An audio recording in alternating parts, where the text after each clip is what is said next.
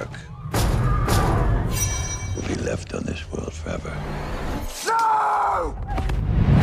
The Heraklion King, Hyperion, has declared war on all of humanity!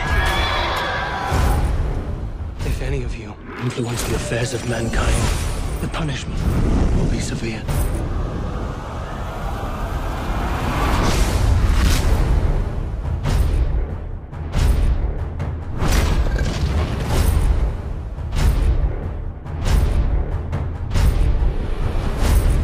There is one human who could lead them against Hyperion, it would be Theseus.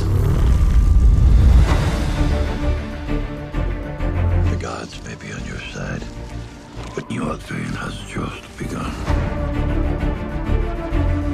To those whom much is given, much is asked.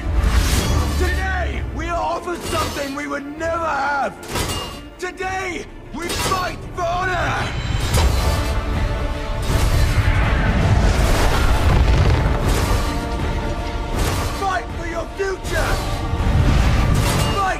children. Fight for immortality.